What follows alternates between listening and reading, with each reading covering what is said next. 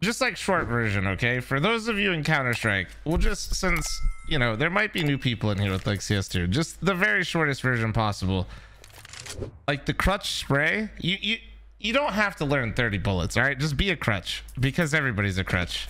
All you got to do is just pull down for 10 bullets. That's it. With every like with both, all right? Like here, look. Because if you look at it, right? Look, look at this. Look at this here. Let that reset. Watch. Well, you see what the first like 10 or 12 bullet, but it's like at the 12th or the, the 11th or 12th bullet, it goes side to side. So if you just like do that, but you just hold it center, you're just done. It, that's all you got to do. Spray control and Counter Strike. You don't need to do the 30 bullet thing. You can literally just hold it for like 10 and you're good.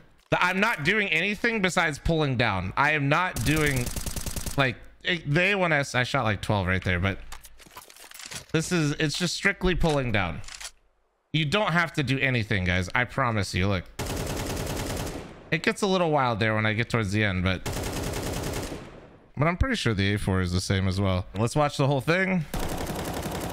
Yeah, it's the same. So watch. That, although you see how the center of it... It kind of ramps up a little bit faster there. So just... Right? I was 12 again, but... You just pull down.